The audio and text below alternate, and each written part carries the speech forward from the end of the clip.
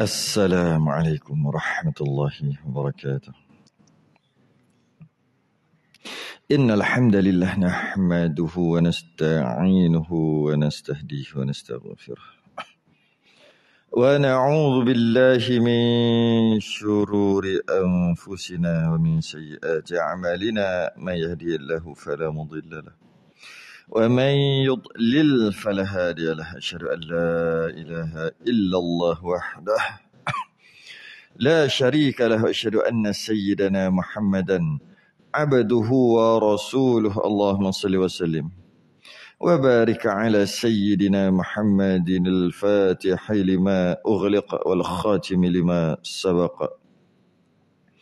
ناصر الحق بالحق والهدي إلى صراطك المستقيم. صلى الله عليه وعلى آله وأصحابه. حق قدره ومقداره العظيم. اللهم نور بالكتاب بصري وأتلق بلساني اشرح بصدري واستعمل به جسدي بحولك وقوتك فإنه لا حول ولا قوة إلا بك. سبحانك لا علم لنا إلا ما علمتنا. innaka antal alimul hakim wala hawla wala quwwata illa billahil alil azim amma ba'du alhamdulillah kita rafa'akan kesyukuran yang terima kasih kita kepada Allah Taala.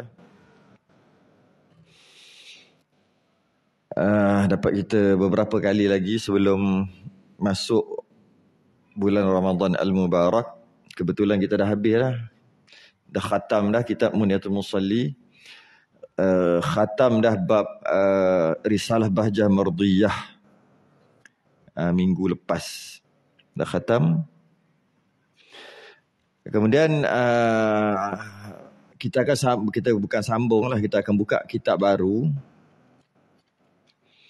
Uh, setelah perbincangan dibuat kitab perukunan.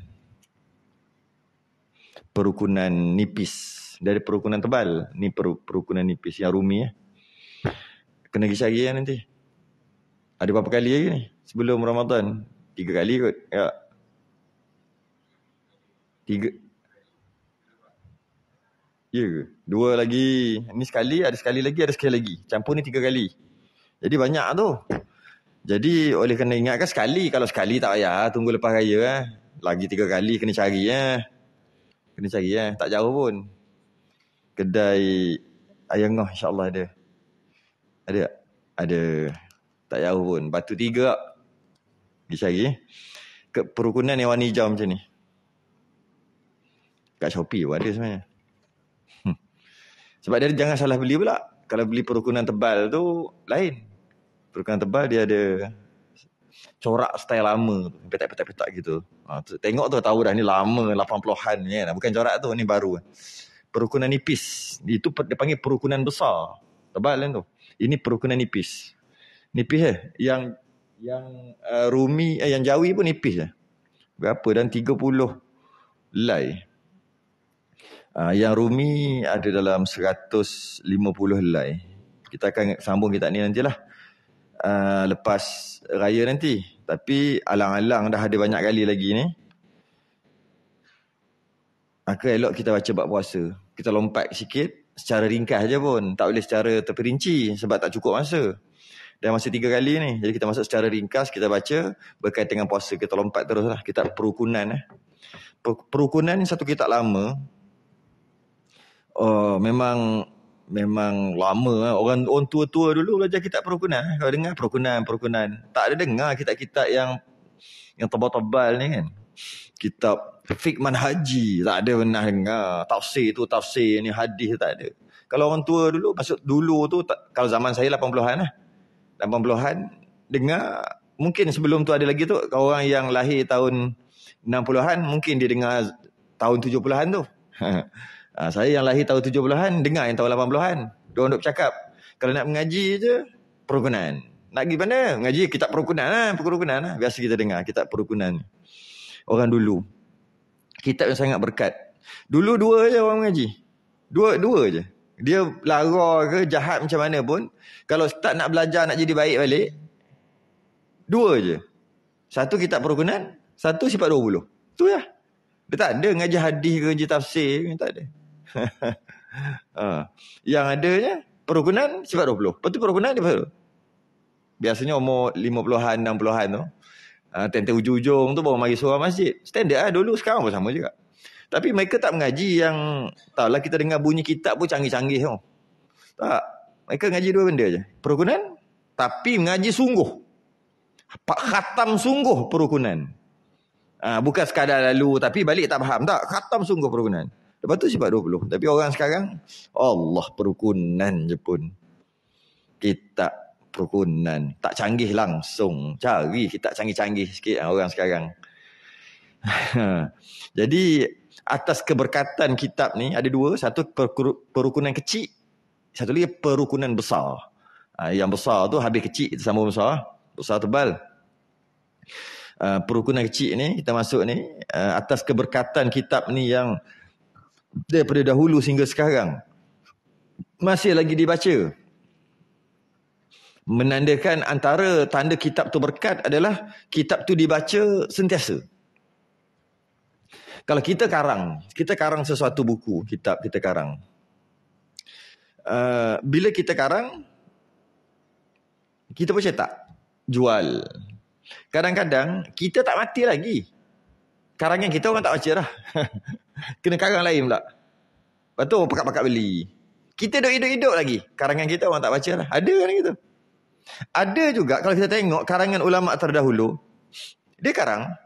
Ketika dihidup orang baca. Sampai mati orang baca. Sampai beratus tahun masih lagi orang baca menandakan kitab tu berkat berbanding dengan sekarang. Itu je lah. Dulu, kitab dulu, bila dikarang tentang satu-satu ilmu, hak cipta dia tidak terpelihara. Hak cipta tidak terpelihara.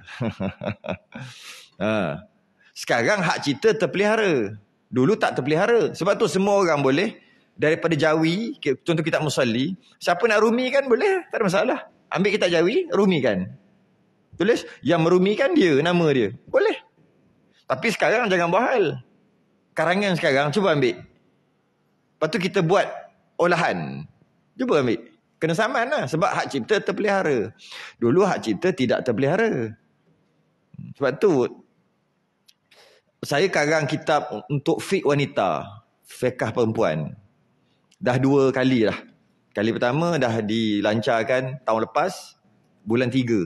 Hotel Mandurah. Dah lepas lah. Saya pernah cakap kat sini kalau ingat lagi. Saya cakap bulan dua. saya cakap bulan depan rancang. Siapa nak pergi, boleh pergi. Okay. Uh, ni bulan bulan tiga ni. Sekali lagi karangan saya yang terbaru. Sekarang dalam percetakan. Tengah insyaAllah minggu depan ataupun awal Ramadan lah. Satu Ramadan, dua Ramadan dia akan berada di pasaran. Boleh cari kat Shopee. Apa saya nak cerita ni? Saya tulislah hak cipta tidak terpelihara. hak cipta tidak terpelihara. Orang yang nak cetak tu telefon. Ustaz, minta maaf. Salah ni, kena ubah ni. Hak cipta tidak terpelihara ni. Mana boleh bagi? Nanti orang boleh ambil kitab ni, orang boleh ngaku dia punya. Eh, baguslah saya cakap. Bila orang ambil, lepas tu orang cetak untuk dijual, baguslah. Lagi banyak sebar. Eh, mana boleh gitu? Rugi lah. Eh, tak rugi lah. Kata. hari tu dia call dah bulan 4 uh, eh, bulan 3 hari tu sekali tahun lepas. Kali ni cetak sama juga. Sebab kat belakang kat depan ni hak cipta tidak terpelihara. Tidak terpelihara. ha. Ada kat depan ni saya tulis hak cipta. Ha, ni. Hak cipta terpelihara. Yang ni lah. Yang saya punya tidak terpelihara. dia kata pelik ah. Jangan buat gini ya, buat kerja pelak ni. Eh, dia tak saya cetak. Rugi. Tak apa, kita rugi apa benda. Kalau orang cetak banyak, orang boleh cetak, orang boleh photostat. Memang pun, bagus alhamdulillah. Photostat banyak-banyak. Cetak banyak-banyak. Habis kalau dia dia dicetak, lepas tu dia tulis dia pengarang, alhamdulillah, pergi. buat, siapa nak ambil mengaku dia punya ambil. Silakan. Dia senyap dia letak pun tu hilat macam macam tak puas hati. Kerkak letak. Telefon pejabat tu, telefon yang letak. Bukan telefon ni. Kak bunyi. Macam tak puas hati. Tak puas hati apa? Masuk cetak-cetak je lah. Ha, yang terbaru ni. Ha, dan yang karangan saya tu saya bawa dekat sini. Saya ada bukan bawa, saya ada ngajar dekat sini. Muslimat lah. Setiap hari Rabu minggu ke satu, satu tiga kan? Ke dua empat? Satu tiga. Ha, satu dengan tiga. Maknanya Rabu esok lusa ni. Ha? Hari ni hari Ahad. Isnin, Selasa, ha, Rabu. Mari, bukan mari lah. Busulah orang rumah mari. orang jantan tak yang mari, tak apa. Suruhlah anak-anak perempuan tu mari. Ha, tapi nampak kehadiran daripada dulu dengan sekarang sangat menggalakkan. Tambah sikit, tambah dua tiga orang, tambah dua tiga orang, tambah dua tiga orang. Mula-mula kat tengok, eh boleh tahan PSJ punya muslimat. Ramai. Kita ingat gitu. Minggu seterusnya, eh bertambah lagi seorang dua. Minggu seterusnya, eh bertambah. Sebab saya buat live. Jadi dia boleh tengok kat rumah. Oh ada. Saya ajar kitab yang saya karang tu lah. Ha, ni esok lusa ni ada ni. Uh, suruhlah datang menambahkan lagi ramai bagus seronok ramai-ramai nampak orang habis-habis tu kan duk popek-popek borak-borak asal bila lagi nak berkawan nak apa jumpa kawan-kawan lama mari mari mari mari ya yeah? untuk fik wanita jadi uh, asal kitab ni tak terpelihara pun nak cerita dia sebab tu orang boleh cerita orang boleh orang boleh buat semua orang boleh ni Rumi ni tuan pengarang dia dah meninggal lama dah Tiba-tiba dia ambil dia rumi suka hati dia. Lepas tu dia tulis nama dia. Tapi bukan dia karang. Dia cuma alih-alih je. Cuma boleh buat, boleh. Tapi yang sekarang punya cetakan, ambil yang sekarang. Yang tahun 80-an, 90-an, tahun 2000. Cuba kita ambil. Memang. Tidak dibenarkan mencetak, mengulang cetak daripada apa Uh, mana uh, mana-mana bahagian buku ini tidak boleh dicetak semula, disalin, dipindahkan, semua tak boleh. Dengan apa cara sekalipun, sama ada dengan komputer, fotokopi, fotostat, filem dan sebagainya sebelum mendapat kebenaran daripada penerbitnya secara bertulis. Sedangkan bukan dia karang. Yang karang meninggal lama lah. Dia cuma daripada Jawi Rumi kan aja. Lepas tu tengok dia letak syarat-syarat. Ha, tapi tak ada masalah pun sebab dia Rumi kan. Tapi yang Jawi asal tidak terpelihara. Hmm. Sekarang tak ada dah buat. Saya je try buat sekali tengok. Memang kecoh lah kejap. Tidak terpelihara. Ini gila punya pengarang. Hak cipta tidak terpelihara. Nak pergi ambil ISBN, berapa kali reject? ISBN tu ISBN yang belakang. Tu yang belakang tu nombor. Yang ada dekat perpustakaan negara. Kena buat surat hantar ke ISBN untuk dapat nombor ISBN dia panggil. Berapa kali reject? Pegawai dia call. Kena tukar ni. Kena tukar ni. Tak mau kata. Kena tukar. tak mau. Tak mau tukar tu maksud hak cinta terpelihara. Tak mau. Tak mau kita tak boleh masuk sistem ni. Hantar lagi permohonan. Tak bagi. Dia mesti. Sebab apa? Dia akan simpan dekat perpustakaan negara. Uh, kemudian apabila ada berlaku apa-apa yang kita tulis. Rupanya orang orang nak buat jahat kita ubah. Lepas tu dia nisbahkan kepada kita yang buat. Ni nama. Padahal dia ubah. Dia cetak lain. Kita kata aku ada bukti. Pergi kat SBN, dekat Pustakaan Negara, minta kopi asal. Ha, tengok, ini bukti aku tidak bersalah kalau masuk mahkamah lah. Ha, itu penting benda tu. Tapi reject, saya punya reject. Macam mana dia kata tidak terpelihara, semua orang boleh. Jadi apa guna simpan kat sini? Betul juga dia kata. Saya nak simpan je, saya pergi PDF.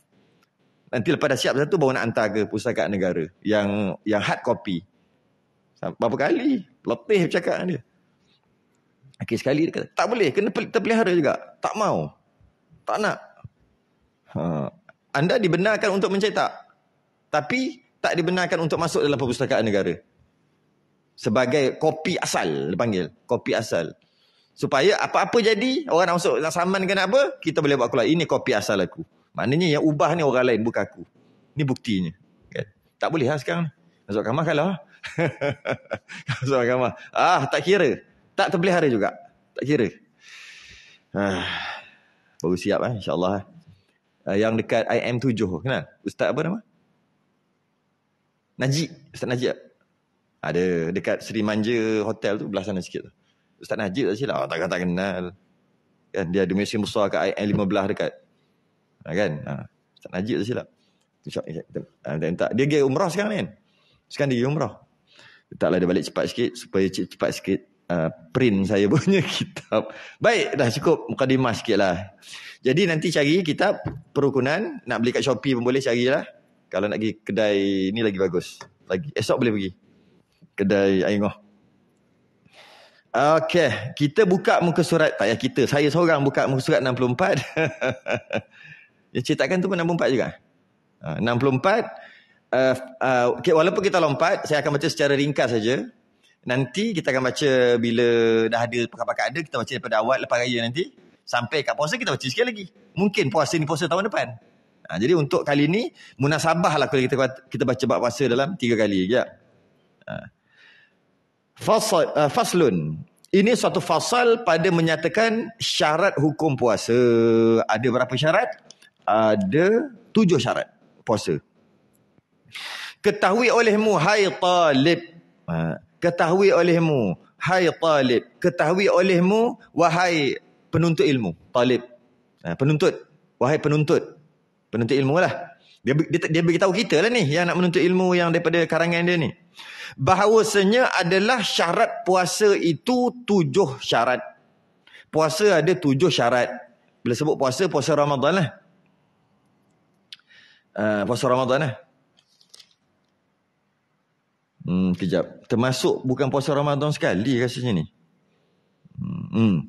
Puasa Ramadan dan bukan puasa Ramadan. Cuma ada puasa Ramadan ada sikit lah. Ada punya uh, perbezaan dengan puasa sunat. Pertama, Pertama syarat uh, sah puasa. Niat. Niat dengan hati. Pertama niat dengan hati. Niat ni lintasan hati. Yang pertama syarat untuk sah dia mesti niat. Dan melafazkan dengan lidah itu sunat juga. Hati itu yang wajib. Lintasan esok aku nak puasa tu yang wajib. Yang dekat lidah tu yang kita melafazkan esok aku nak berpuasa ke nawaitu saum ramadan ke itu hukumnya sunat juga sebagai membantu hati tak baca pun tak apa. Sebab sunat juga sebagai membantu hati. Kalau dengan tanpa melafazkan hati boleh juga niat tak sunatlah lafaz. Sebab tujuan melafazkan niat kerana membantu hati. Sama juga usalli sama je lah nawaitu usalli sama je. Kalau dengan sebut nawaitu atau usalli, bantu hati untuk dapat niat, maka sunatlah. Tapi kalau nawaitu usalli pun dapat niat, tak nawaitu usalli pun dapat niat, tak sunatlah. Dia tak bantu dah lah. Okay. Tapi yang wajibnya adalah hati. Niat di hati. Dan wajib berniat itu pada malam. Ha, ini bagi ah, ini puasa Ramadan lah. Mesti malam. Puasa Ramadan. Kalau bukan puasa Ramadan, puasa sunat, uh, tak malam pun tak apa. Siang pun boleh. Uh, tak ada masalah selagi tak buat perkara yang membatalkan lah. Siang tu. Siang tu pula sampai zuhur. Maknanya pagi tu kalau katalah tak sarapan tak apa, tak niat. Ni puasa sunat lah. Pukul 12, pukul 1 tengah hari. Allah. Nak nak nak, nak semayang uh, zuhur lagi bukan nak azan zuhur nak masuk zuhur lagi setengah jam macam tu lebih kurang. Pukul satu tak makan apa. Setitik air pun. Sebiji nasi pun tak makan lagi. Kuih semua tak makan. Hmm, lewat lah ni. Alang-alang puasa terus lah. Niat puasa sunat. Boleh. Dengan syarat sebelum Zohor. Itu kalau puasa sunat. Tapi kalau dah makan pagi tu, sarapan kena tiap tarik uti canai, pukul satu tak boleh niat lah. Itu kalau puasa sunat. Tapi kalau puasa fardu, puasa fardu, iaitu puasa Ramadan, tak boleh. Dia mesti malam. Ha, mesti niat tu waktu malam. Malam-malam tu bila? Ha, dia kata dan wajib berniat pada malam. Bila masuk malam tu? Iaitu kemudian, selepas. Kemudian tu selepas. Daripada masuk matahari. Masuk matahari tu ataupun orang dua cakap jatuh matahari. Ataupun paling mudah sekali, maghrib lah. Maghrib. Uh, dan dahulu, daripada, dahulu tu sebelum. Sebelum daripada terbit fajar sodik terbit fajar sadiq ni bahasa paling mudah sekali subuh lah. Ha, sebelum dah masuk maghrib dah boleh niat, subuh dah tak boleh dah. Ha, subuh tu tak boleh niat dah. Uh, puasa. Fajar sadiq. Kalau fajar kadzib boleh lagi. Fajar kadzib ni fajar, fajar-fajar ni adalah cahaya yang keluar, sinaran atau cahaya yang keluar sebelum matahari itu keluar. Sebelum matahari itu menampakkan dirinya di kaki langit, nampak kok kaki langit lah panggil kan. Langit ada kaki je. Istilah je. Kaki langit. Kalau tengok dekat pantai, ah, yang nak tengok-tengok tu kaki langit lah kiranya. Ah, kalau kau tengok kat, macam pada pasir ke apa kan, nampak tu. Itu dia panggil kaki langit lah. Langit mana ada kaki. Tapi istilah panggil kaki langit. Bila tengok matahari tu nak naik, nampak je matahari, dia panggil matahari telah mem, uh, menunjukkan dirinya. Okay. Matahari nampak aja sikit, nampak matahari, itu dah menyesyuruk. Subuh habis. Subuh dah habis. Bila subuh? Subuh ni panggil fajar sadiq. Bila? Sebelum matahari itu memunculkan dirinya, cahaya dia mestilah keluar dulu matahari kan? Ha, cahaya keluar sebelum matahari keluar, itu namanya fajar. Fajar pula terbagi kepada dua. Satu nama Sadiq. Sadiq ni benar lah. Macam Abu Bakar As-Siddiq. Sama tu. Uh, Sadiq. Sadiq ni benar. Fajar benar. Satu lagi Kazib. Penipu. Bohong. Uh, fajar betul. Fajar benar. Fajar bohong. Ketika matahari nak uh, terbit. Dia akan keluar fajar bohong dulu dia panggil. Fajar Kazib. Masuk fajar bohong tu. Tak masuk subuh lagi. Tapi fajar dah keluar. Uh, setelah lebih kurang setengah jam macam tu barulah keluar fajar sadiq. Ah fajar sadiq ni fajar betul iaitu masuk masuk subuh. Fajar kadhib dia punya uh, cahaya dia straight naik atas. Dia macam lampu suluh. Straight naik atas. Fajar kadhib, fajar yang tak masuk subuh lagi. Fajar sadiq, fajar yang masuk subuh dia keluar macam ni. Ah memang itu matahari lah tu. Kan matahari bulat. Sebelum matahari keluar, mesti cahaya dia keluar dulu. Cahaya dia pun mestilah macam ni juga. Takkan apa cahaya dia straight macam ni. Sedangkan matahari tu macam ni, bulat. Ha, jadi, Fajar Sadiq dia panggil. Ha, jadi, Fajar Sadiq, Fajar Sadiq ni adalah subuh. Jadi, bila boleh niat? Masuk maghrib, dah boleh dah. Masuk je maghrib. Masuk maghrib ni maksudnya apa? Tenggelam matahari. Tenggelam matahari tu macam mana? Nampak matahari ada, Makin jatuh, jatuh, jatuh, jatuh, jatuh nak hilang kan. Masuk separuh. Tengok kat kaki langit lah. Ah, dekat pantai ke apa. Jatuh, jatuh, jatuh, jatuh separuh. Masa tu asar masih lagi ada. Jatuh makin hilang. Tinggal sikit, asar masih lagi ada. Hilang. Yang tinggal cahaya je. Matahari, bulatan matahari dah hilang. Dah ter terbenam dia panggil. Ah, itu dia panggil maghrib. Ataupun terbenam matahari atau tenggelam matahari. Masa tu boleh niat dah. Niat apa ni? Niat puasa. Untuk esok. Last sekali, bila fajar nampak ya tak boleh dah. Sebelum fajar nampak boleh lagi niat uh, niat puasa. Puasa Ramadan. Dan puasa Ramadan ni, niat puasa ni dia tak syarat buka puasa. Tidak disyaratkan untuk buka puasa, tidak disyaratkan berbuka puasa untuk niat puasa. Esok hari tu. Hari ni hari pertama puasa. Dia dah puasa satu hari. Kemudian masuk maghrib. Dia bolehlah nak buka puasa. Dah masuk tengah azan dah, masuk maghrib. Hari pertama puasa. Dia boleh niat dah puasa untuk esok. Walaupun dia tak buka puasa lagi. Kerana syarat untuk sah niat puasa, bila maghrib. Bukan bila buka puasa. Bagi orang yang selalu lupa niat. Elok dia niat, masa buka puasa. Sebab, orang yang lupa niat, dia tak pernah lupa pun ni, baca doa makan.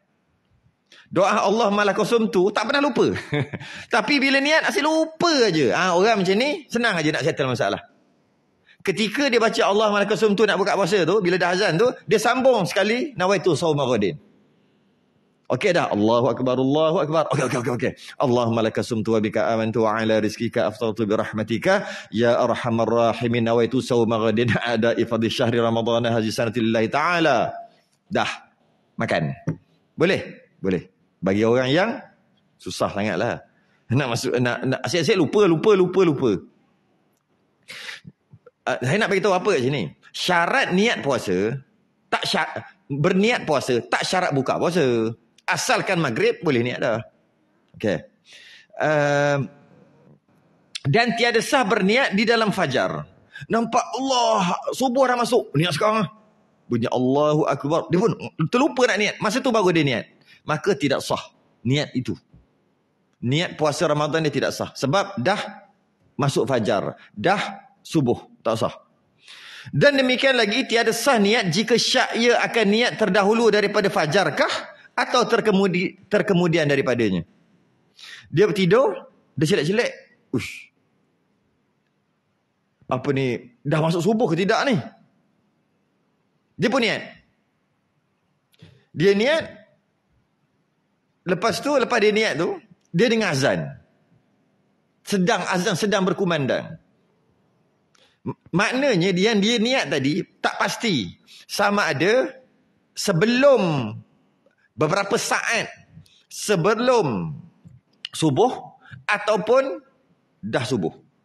Sebab yang dia dengar azan, boleh jadi azan tu azan Bilal tu boleh jadi lambat sikit. Dia bukan tek tek terus dia Allah Akbar Allah Akbar.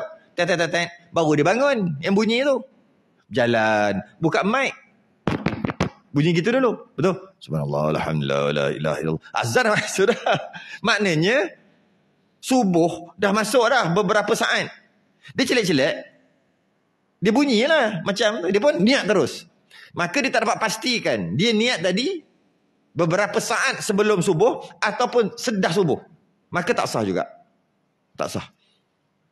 Maknanya untuk sah niat Ramadan ni, puasa ni, hendaklah yakin belum subuh lagi dan hendaklah yakin telah maghrib. Hendak yakin telah maghrib dan sebelum subuh. Kalau tak yakin, tak sah niat. Maka sekurang-kurang niat puasa itu asumu ghadan an Ramadan. Oh, jarang kita baca niat ini. Asumu ghadan an Ramadan. Sengaja aku puasa esok hari daripada bulan Ramadan. Itu minimum. Bahasa Arab boleh, bahasa Melayu boleh. Itu sunat yang dekat lidah. Yang penting dekat hati. Okay? Dan niat yang sempurnanya iaitu nawaitu sauma ghadin an adai fardhi syah fardhi ramadhan hadhihi sanati lillahi taala. Sengajaku puasa esok hari daripada membayar fardu Ramadan daripada tahun ini kerana Allah Taala. Itu yang sempurnalah. Sama juga dia adalah sunat yang dalam hati itu yang wajibnya. Yang kedua, itu yang pertama. Yang kedua, menahani diri daripada jima' bersetubuh. Tak boleh. Maka batal puasa dengan dia. Batal puasa dengan berjimat. Dan jika tiada keluar mani sekalipun, tetap batal juga. Dengan syarat, jika hasil daripada yang wadah serta dengan disengajakannya, lagi tahu akan haramnya. Dia sengaja bersetubuh uh, dalam keadaan berpuasa tu. Maka batal puasa. Malah dalam masalah ni dia ada muka surat muka surat mana ah? Dia ada bincang tentang bab ini ada fiddah fidyah ni. Muka surat 74. Fasal pada menyatakan jima' dalam bulan Ramadan dan barang yang wajib atas orang yang mengerjakan dia. Iaitu kena kena puasa 60 hari berturut-turut dan sebagainya. Jika dia membatalkan puasa dia tadi tu bulan Ramadan dengan jima. Maka dia wajib selain daripada berdosa besar, dia juga wajib nanti bulan Syawal nanti ni dia kena puasa 60 hari berturut-turut. Kalau dah 59 hari dah. Tiba-tiba dia tak puasa, kosong balik, kena mula daripada satu balik. Pernah jadi ni, kes ni. Pernah jadi. Bila kita dah beritahu hukum gitu dia puasa. Hari yang ke-59, dia pengsan. Stroke haba. Masa tu panas. Dah lah panas, dia puasa pula. 59 hari puasa. Betul-betul. Bila dia pengsan, doktor, orang bawa pergi ke klinik, doktor injek masuk air bagi makan ubat semua. Dia sedar-sedar, dia kata nak perumbuk lah doktor tu dia kata. dia kata kenapa injek masuk air dia, dia bagi makan ubat dan sebagainya lah. Masih dia mamai-mamai tu. Kenapa dia kata? Tak boleh, cik bahaya, membahayakan nyawa. Dia kata mati pun mati lah. Sebab apa? Dia nak kena mula daripada hari pertama balik. Tak jam. Ha, ha, ha, jam. Ha, tu ada kita bahas panjang nantilah. Pada waktunya nanti kita akan bahas panjang. Ataupun kalau jadi berlaku nanti bagi tahu. Kita biar bahas. Tapi kena mengaku lah siapa. kalau jadi kita bahas panjang nanti. Sekarang ni secara ringkas je dulu. uh, uh, haram eh tak boleh haram jima dan bukan setakat tu aja. Dia wajib berpuasa 60 hari berturut-turut sebagai kifarah dia.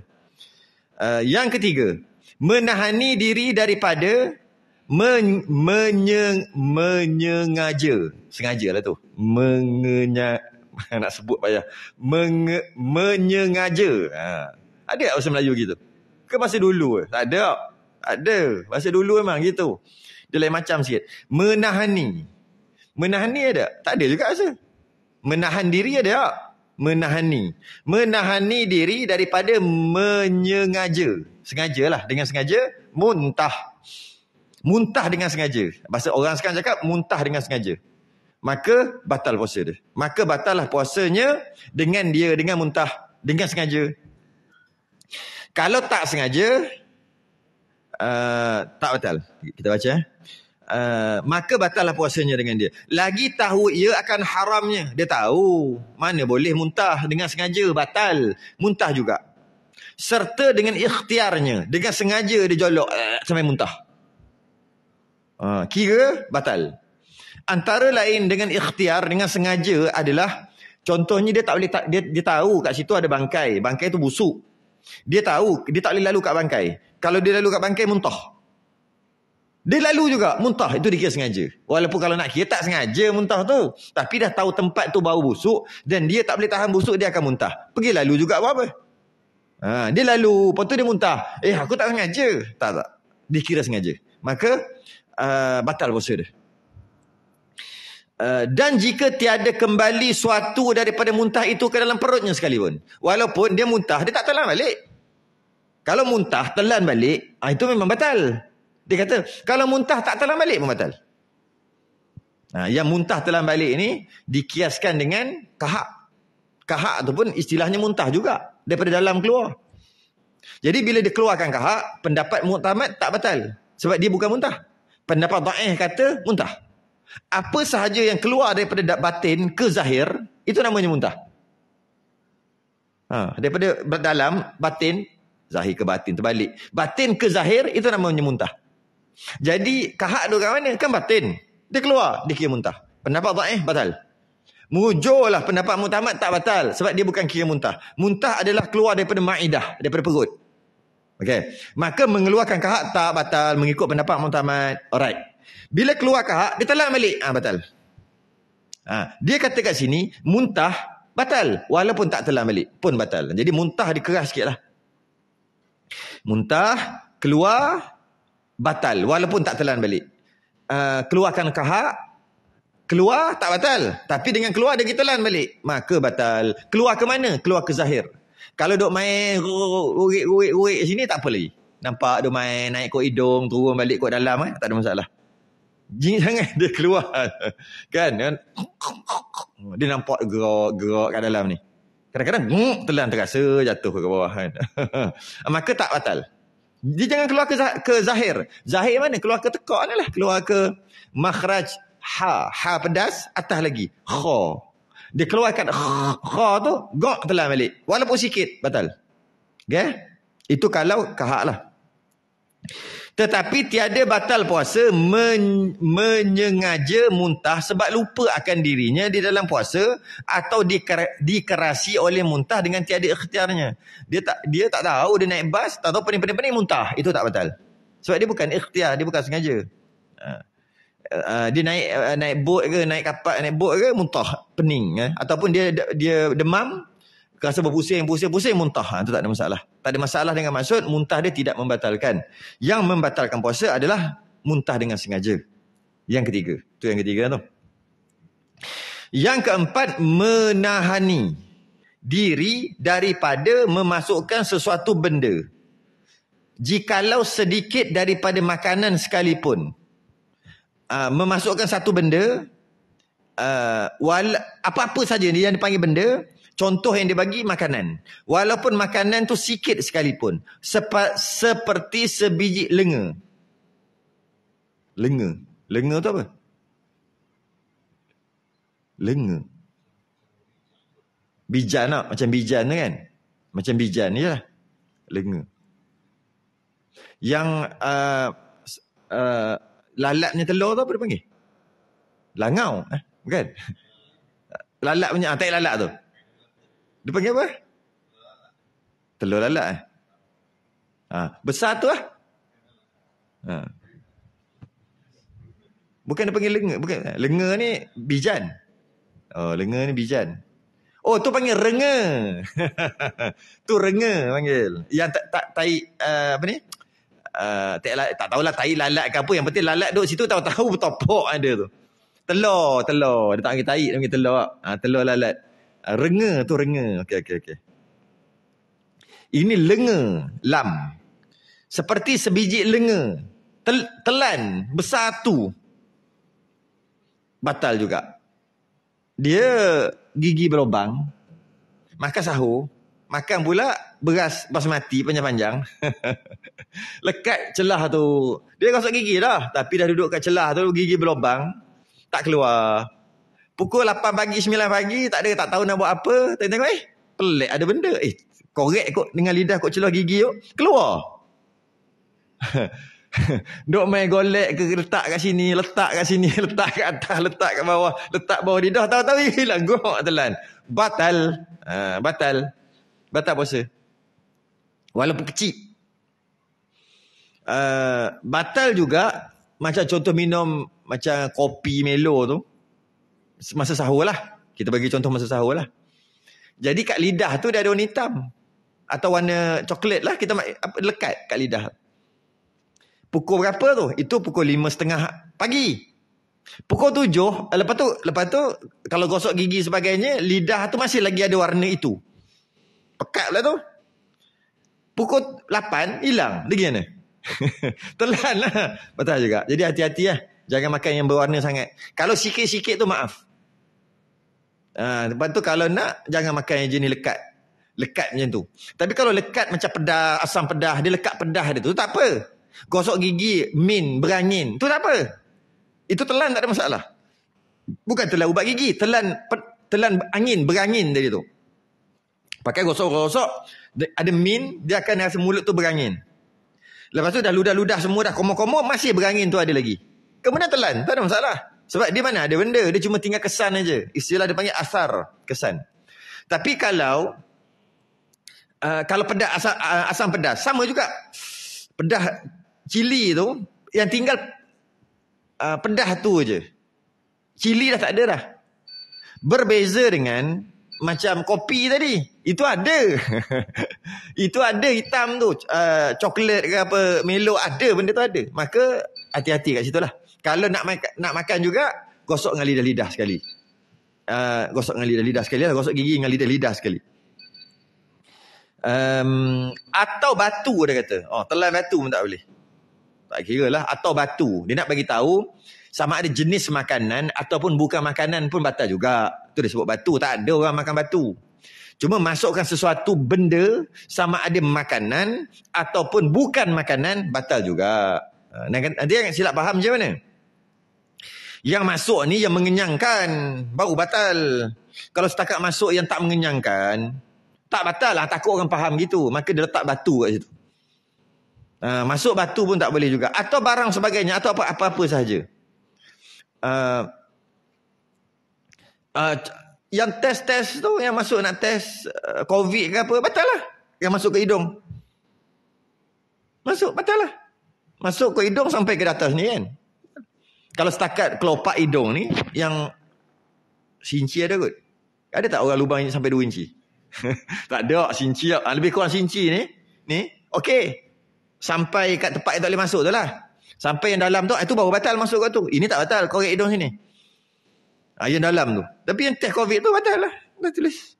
Cuma, ialah fatwa-fatwa kontemporari kata tak batal. Kalau kita baca kitab-kitab lama, semua kata batal. Dia bukan masalah kenyang ke tak kenyang. Dia bukan masalah obat tak obat. Dia bukan masalah. Tak ada masalah tu. Cerita batal-batal. Tengok eh, baca. Sambung eh. Tengok eh. Atau ubat. Ha, ubat sekalipun ha, kepada rongga yang terbuka iaitu seperti batin masuk batin batal cotton bud masuk sampai ke batin batal korek linga tak batal korek linga macam ni tak batal korek hidung macam ni tak batal pakai cotton bud korek batal pakai apa-apa lidi jolok sampai ke atas ni batal. masuk kot yang tempat jari tak boleh masuk batal batal-batal lah macam mana? Sebab dia bukan semestinya makanan baru batal. Tak makanan pun batal. Masukkan sesuatu. Atau batin hidung. Oh dia bagi contoh. Batin hidung yang sebut tadi. Batal. Batin hidung tempat jari tak boleh masuk. Itulah batin. Selagi jari boleh masuk. Itu zahir. Maka tak batal. Ah, zahir tak batal. Yang batal batin.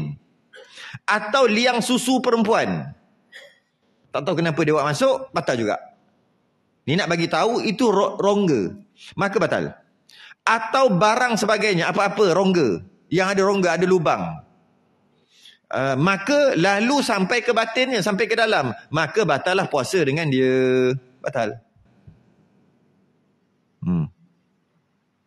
dan tiada batal puasa sebab sampai suatu kepada batin seperti sampai bau yang dicium ke dalam otak wangi ah, masuk juga tak batal. Uh, sebab wangi itu padahal ada benda yang masuk tu. Kalau tidak macam mana wangi itu boleh ada? Maka tak batal yang tu. Uh, tak batal sebab bau kan bau. Nak elak macam mana? Tak boleh elak benda ni. Dan sampai rasa yang dirasa ke halkum pun tak batal juga. Dia rasakan lidah tak batal. Tapi rasa tadi naik zzz, sampai ke sini.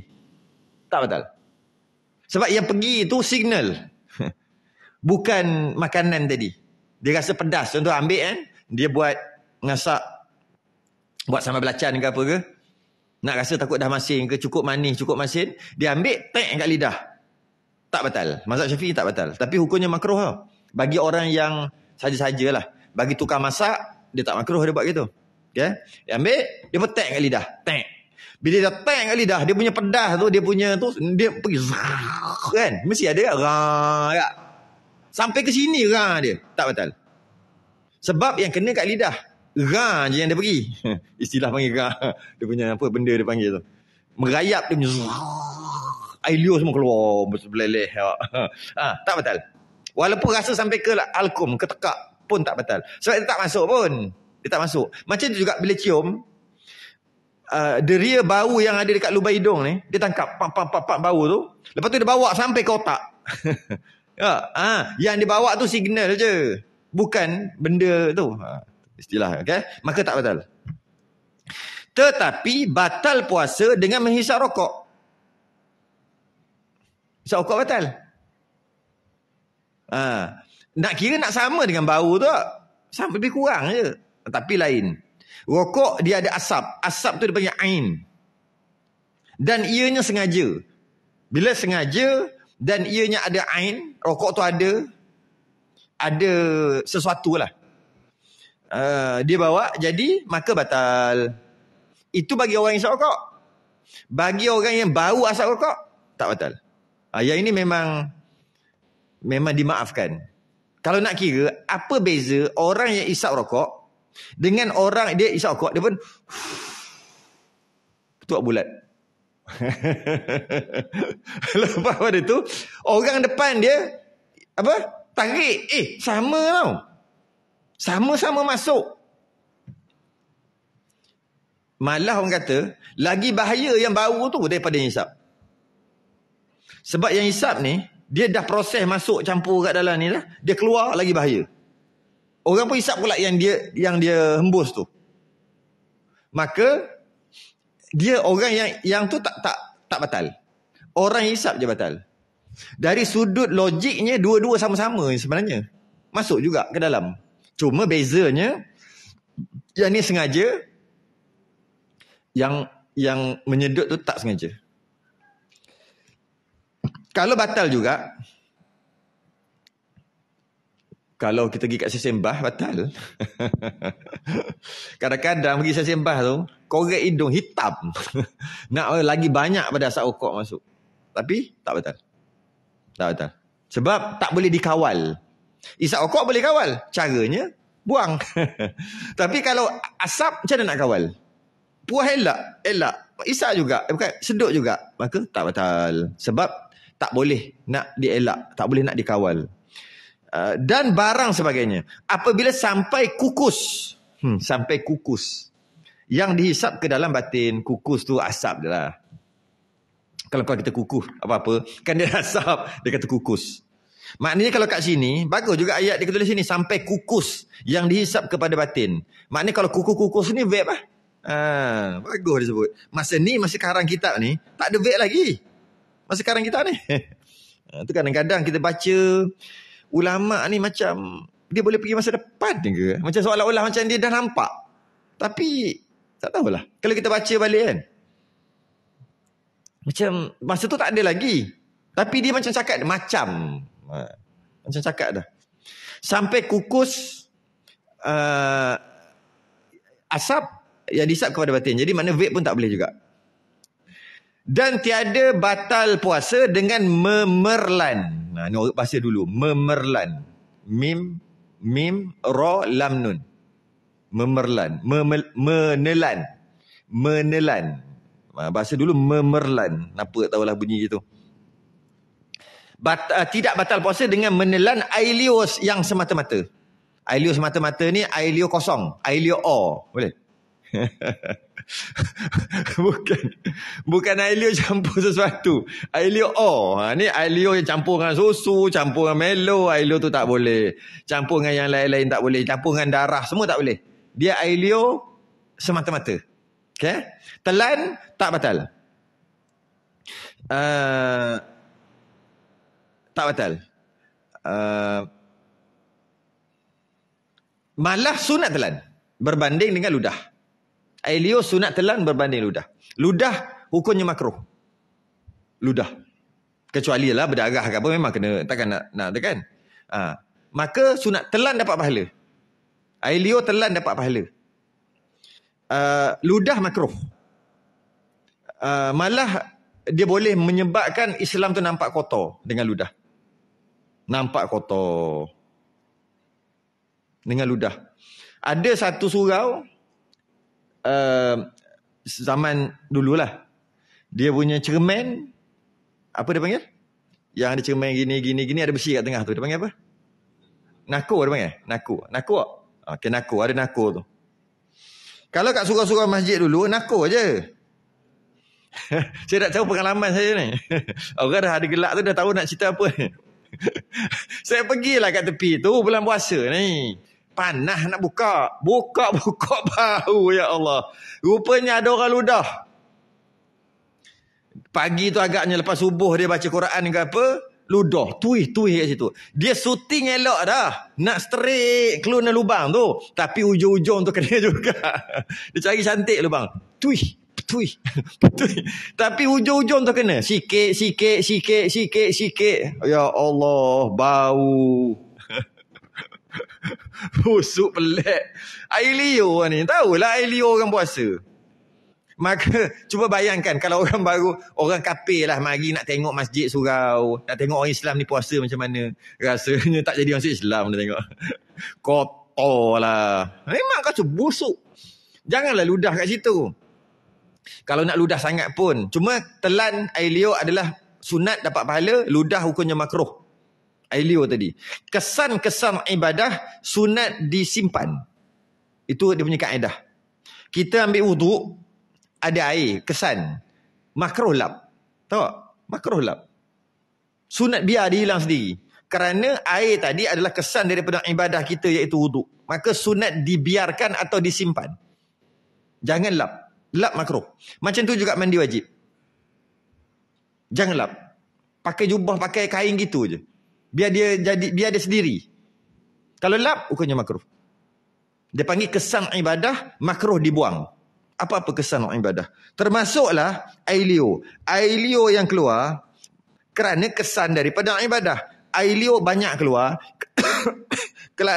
kerana mulut kering. Mulut kering kerana tak makan apa-apa. Tak cukup air. Jadi mulut kering. Bila mulut kering, mulut berbahaya. Mulut dalam mulut ni bahaya. Dia kena basah. Kalau kering, dia akan jadi masalah. Maka badan kita tolak kelenjar yang ada dekat bawah lidah tu. Supaya keluarlah, keluarlah, keluarlah Elio. Elio keluar, keluar, keluar, keluar. Supaya dapat basahkan mulut dan supaya Elio tu ditelan membasahkan rongga-rongga kat dalam ni. Ha, automatik memang jadi gitu. Tapi kita pula ludah. Sedangkan dia kesan daripada puasa. Puasa tu ibadah. Telan lah. Okay. Uh, lagi suci jikalau dihimpunkan lalu di Allah. Saya baca kitab ni. Ha. Lagi suci jikalau dihimpunkan liur tadi, lalu diperlan. Perlan tu telan. Sekalipun. Oh, khi tekak eh. Dia pun ah, nganggu apa oh. Dia diam ah. Dalam setengah jam penuh. Gong, gong. Alah, uh, alhamdulillah. Takut muntah pula betul. Tak ada masalah. Tak ada masalah. Maksudnya saya baca kitab. Dia kata ustaz reka. Tu lah suruh beli kitab saya awal-awal tak mahu beli. Ada ni ada. Uh, bukan reka. Tak batal. Tapi kalau ambil gelah Ras keluar Elio tu ah tu tu tu ada sekat ni buah air batu sikit gong gong gong itu batal itu jangan buat geli eh ataupun masa dia tengah bercakap ke apa air dia merecik kena di bibir di sini adalah besar ni sikit dia pun terasa lah nak meleleh dia pun keluarkan lidah dia telan batal hanya yang tak batal yang duduk dekat dalam saja. Tempat yang basah tu. Bibir dalam ni yang basah. Tu saja yang tak batal. Kalau keluar kena bibir luar ni pun batal. Bibir luar. Bibir yang kering ni. Tengah saya cakap, pung uh, mericik. Nampak nak meleleh. Dia pun batal puasa. Ha. Tapi kalau kumpul lah. Lepas tu gok-gok. Ataupun dia kumpul air liur dia, letak atas lidah, lepas tu dia jelek keluar. Lepas tu dia telan. Tak batal. Sebab masih lagi tak keluar walaupun lidah je keluar. Air tu air tu tetap duduk atas lidah. Air liur. Ini apa ni? Ini hukum pekah. Bukan suruh buat. Ha, nanti kan nak buat. Jangan buat. Ini cerita hukum pekah. Hukum fik. Yang kelima, Islam. Islam pada tiap-tiap hari yang puasa ia di dalamnya. Oh ni memang pelik Islam. Yang kelima Islam. Maksudnya kalau kafir batal puasa ha, macam itulah. Uh, murtad dan jika murtad ia pada hari itu maka batallah puasanya. Batal puasa. Ada tak jadi? Pelik tak murtad pula. Batal lah puasa. Murtad ni boleh terjadi macam-macam kan?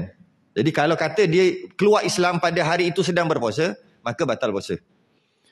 Yang keenam, suci daripada haid dan nifas.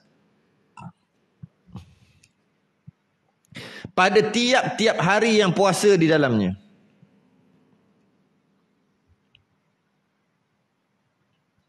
Ha, dia suci daripada haid dan nifas. Baru sah puasa. Maksudnya ketika puasa tu, sepenuh hari tidak ada haid, tidak ada nifas. Uh, barulah sah. Jika dia sedang berpuasa, kemudian sebelum buka puasa, lagi lima minit, lagi tiga minit nak buka puasa. Tengah tuang air tebu ni. Tengah bubuh air batu, sedap ni. Tiba-tiba tengah puasa ni, perempuan, cerita perempuan. Ni kena ajar lah anak, anak isteri. Kena ajar lah. Kalau tak nak ajar tak apa. Boleh tak? Boleh. Bawa datang sini hari Rabu. Minggu kedua, eh minggu pertama dan minggu ketiga. Ah ha, memang saya ada bahas bab ni untuk wanita. Esok lusa ni, mari hari Rabu. Cerita tentang haid nifas pun ada. Termasuk juga perkara-perkara antara yang saya akan ceritakan nantilah. Dalam kelas muslimat ni, hari Rabu, minggu pertama dan minggu ketiga. Cerita apa ni? Ketika dia haid, eh, ketika dia suci, kemudian lagi sebelum buka puasa, sebelum maghrib, datang haid. Maka batal puasa dia. Walaupun ujung-ujung, walaupun lagi seminit, Dah tunggu dah. Tunggu azan, naik tebu siap dah. Nak gong gong gong. Tiba-tiba rasa lain macam masuk bila air rupanya haid keluar. Maka batal puasa. Batal puasa. Uh, kalaulah haid keluar, katalah pukul pukul satu tengah, uh, bukan, haid berhenti pukul satu tengah hari, katalah. Maknanya, dia tak puasa. Dia tak puasa daripada dah lima hari lah tak puasa ni. Uh, lepas tu hari tu, hari yang keenam, tak puasa juga masih haid masih lagi, lagi ada. Pukul satu tengah hari haid kering. Okay. Bila haid kering, dia akan mandi untuk semayang zuhur lah. Sebab pukul satu ke dua tu zuhur kan. Soalannya boleh makan tak? Ha, ah, okay, satu. Uh, yang kedua terbalik pula cerita ni. Dia sedang dia tak uh, yang tadi dia tak berpuasa. Ni dia sedang yang tadi dia berpuasa ke tak tadi? Saya bagi contoh. Dia tak puasa eh? Dia tak berpuasa dah tak berkering haid. Uh, adakah dia boleh makan atau tidak? Yang kedua terbalik. Dia sedang berpuasa keluar darah. Pukul satu. Uh, dua, dua, dua perkara yang bertentangan. Eh? Uh, dia sedang berpuasa keluar darah. Uh, apa perlu buat? Dia tidak berpuasa dah lima hari, itu hari tak akhir. Kemudian kering. Ha, tu dua perkara yang bertentangan. Jika dia sedang berpuasa kemudian dia sedang berpuasa kemudian darah keluar. Maka batal puasa pastilah. Batal lah puasa, dah keluar darah hai kan. Pukul satu tengah hari lah kita ambil. Sedang berpuasa keluar batal puasa. Adakah boleh makan? Boleh. Masuk boleh tu sebab batal puasa boleh makan. Kalau dia tak makan, dapat pahala tak? Tak dapat. Puasa dah batal lah. Malah makan, nak tunggu maghrib baru makan. Adakah dapat pahala? Tak dapat. Sebab pahala, puasa dia dah batal. Uh, kalau dia makan, makan memang dia boleh makan. Dah batal puasa lah. Kalau dia tak makan, pun tak dapat apa-apa. Tak dapat pahala pun. Yeah. Kalau terbalik, yang tadi dia, sed, dia, dia sedang berpuasa, datang darah. Ini dia tidak berpuasa. Dah enam hari lah, tak puasa. Tiba-tiba darah berhenti.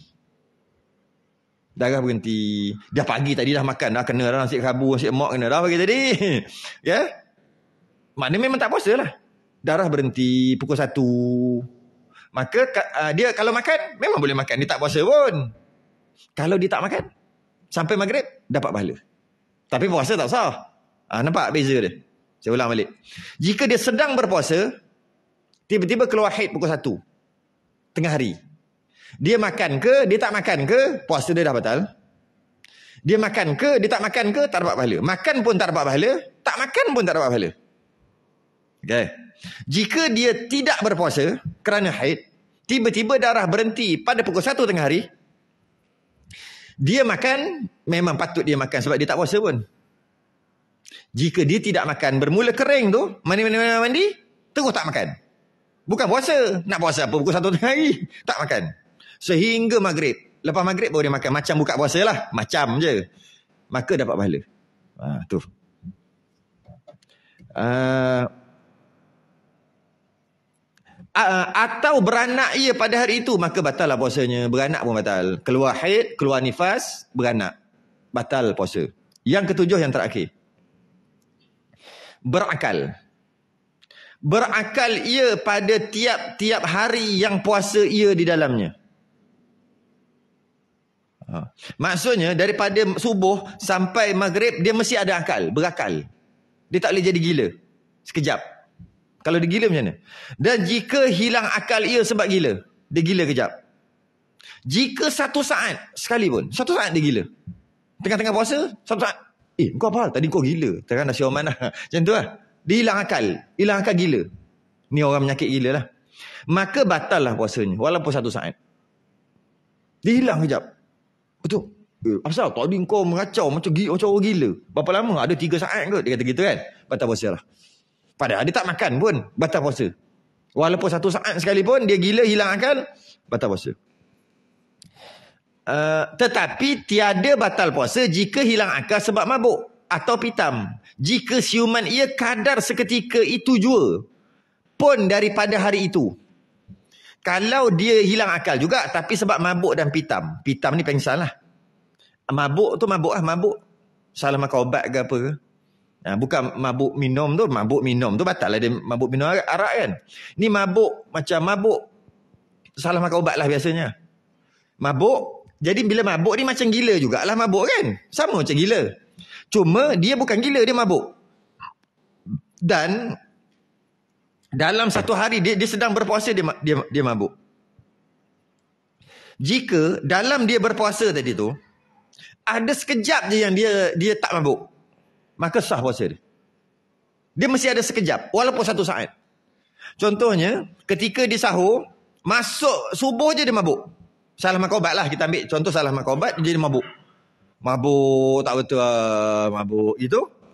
pukul satu tengah hari dia celek. Eh kenapa? Dia dah tak mabuk dah. Apa hal? Kau salah makan ubat kau tadi. Mabuk. Lepas tu dia mabuk balik. Oh. Sampai maghrib. Maka puasa dia sah. Dengan syarat dia tak ada buat perkara, dia tak ada melakukan perkara yang membatalkan puasa lah. Kalau tengah mabuk tu dia minum, batal lah. Maka sah. Sebab dia sedar, walaupun satu saat, dia sedar. Walaupun seketika. Kalau yang gila tadi tak boleh. Satu saat gila tu batal lah. Tu kalau gila. Yang ni bukan gila, mabuk. Kalau dia mabuk sepanjang hari tak sah puasa dia. Dia mabuk daripada subuh, sebelum subuh tengah tengah sahur tu mabuk. Sampai maghrib baru dia tak mabuk dah. Tak sah puasa. Sebab nak sah puasa kalau mabuk, dia mesti sedar walaupun satu saat dalam puasa. Ha, okay, tu mabuk. Macam tu juga pitam, pengsan. Dia masa sahur pengsan. Dia sedar-sedar maghrib. Tak sah puasa. Nak sah macam mana? Dia masa sahur, dia pengsan. Kemudian, pukul 2 petang, dia celik. Kau apa hal? Eh, aku apa hal ni? Kau pengsan tadi? Eh, pengsan balik. Sampai maghrib. Ah, sah puasa dia. Nah, maknanya pengsan dengan pitam, ah, pengsan, pitam atau mabuk, dia mesti sedar dalam puasa dia walaupun satu saat. Kalau sedar dalam satu saat, lepas tu tak ada masalah. Itu kalau satu saat. Kalau satu jam, lagi lah tak ada masalah. Ha, kalau setakat dia mabuk sejam dua, lagi tak ada masalah. Kalau setakat dia pengsan sejam dua, lagi lah tak ada masalah. Ha, tak ada masalah dengan maksud tidak membatalkan puasa. Dan demikian lagi tiada batal puasa tidur sehari suntuk. Tak batal juga sahur-sahur sahur-sahur makan banyak tu tidur. Bangun-bangun-bangun orang bang maghrib. Buka puasa. Seronok hidup dia. Tapi berdosa lah. Dia tak, tak, tak semayang. Sah. Dari dari sudut puasa sah. Dari sudut semayang berdosa lah tak semayang. Lepas tu esok pun sama lagi. Siang tu dia berjaga sampai lima setengah. Makan, makan, makan, makan, makan, makan, makan, makan. Minum air gok, gok, gok, gok, tidur. Bangun, bangun, bangun. Maghrib. Sah puasa dia walaupun 30 hari dia buat. Dari sudut puasa sah. Dari sudut tak semayang tu, buat lain. Sah. Nampak beza dia? Gila, satu saat je. Gila, tak sah dah. Walaupun satu saat gila. Uh, pengsan ataupun mabuk, satu saat jadi nak perlu sedar. Dia sedar satu saat dalam satu hari itu, sah puasa. Tidur, tak sedar diri pun tak apa sampai ke sudah. pun sah juga. Walaupun dia tak sedar. Sah juga puasa dia. Walaupun tak sedar, walaupun satu saat. Habis. Fasal yang seterusnya kita akan masuk nanti. Ini satu fasal pada menyatakan syarat wajib puasa sebab Ramadan. Sambung. Akan datang. Wallahualam. Tunggu dulu. Ah. Sawan, sawan termasuk gila. Ah, sawan dia termasuk gila, maka batal. Walaupun satu saat. Dia sawan satu saat. Gu gu gu gu gu gu gu. Tiba-tiba je dah terbaring. Eh, apa hal? Tadi kau sawan. Oh, sawan. Masa tu dia sedang berpuasa, batal. Walaupun satu saat. Sawan termasuk gila. Uh, Ha, yelah, sawan termasuk gila. Kita kadang-kadang, oh, sawan. Sebab dia bukan, dia dia hilang, hilang akal juga tu. Dia tak termasuk mabuk, sawan. Assalamualaikum warahmatullahi wabarakatuh.